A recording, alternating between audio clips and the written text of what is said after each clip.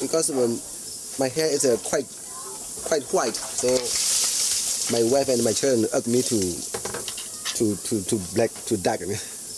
They said that uh, I'm just only 50 now, so my hair should not white like this. So uh, finally, I surrender. I surrendered.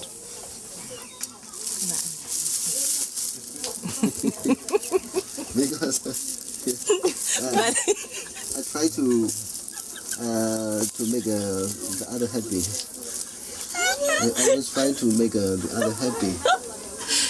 They look at me and they are they are laughing because uh, because of my this order position. Finish.